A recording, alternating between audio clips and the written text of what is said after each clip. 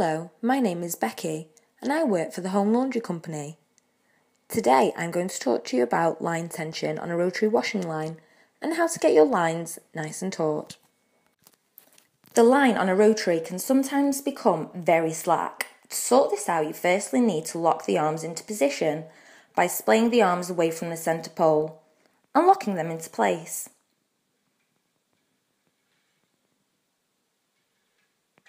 As you can see, the line is very uneven.